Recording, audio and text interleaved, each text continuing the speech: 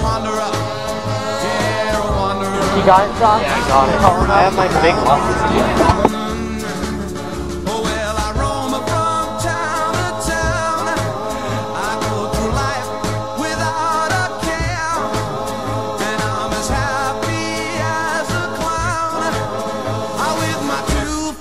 fists divine, but I'm going nowhere. Thank. I'm the type of guy that likes to roam around. I'm never in one place. I roam from town to town, and when I find myself um, falling for some girl, uh, yeah, I hop right in in that car. We have the correct baggage for him? I would hope so.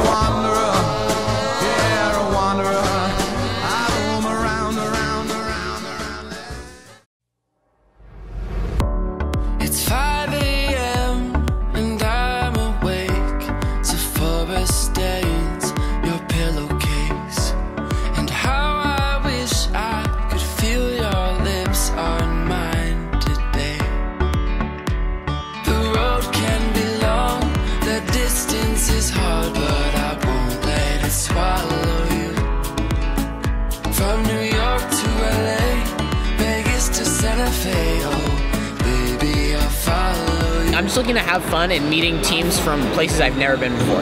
Teams I've heard about but never met. Or meeting people from entirely different countries. Although speaking to them might be a little bit more difficult than I anticipate.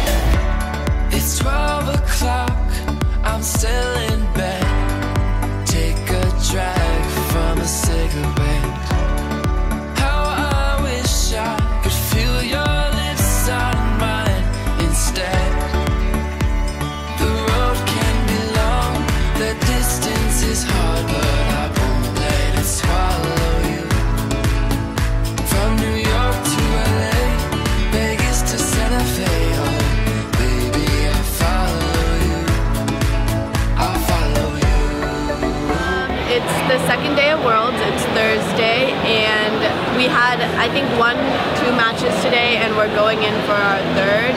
Right now, we're ranked at 43rd, but that's because we lost one. Um, but we did win ours yesterday by 15 points. What is your uh, like your first thoughts of Worlds because it's your first time?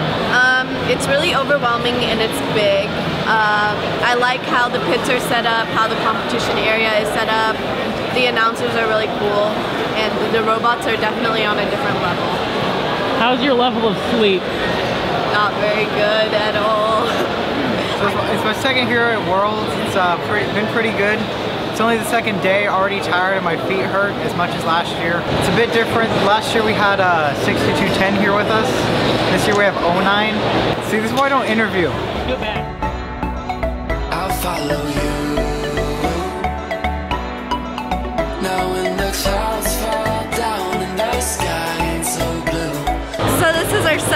Matches, and we're actually about to play our third match of the uh, competition. Um, our first match was really great. We won that really well. Um, our second one, we had some issues with our hook, but it should all be fixed now. And we'll, I mean, we'll see in a couple of minutes. It's been a lot of fun. I mean, um, I've been up for five hours, but I've been enjoying myself, so that's always good. Um, you know, we've got six more hours to the day, and I'm excited to see what happens.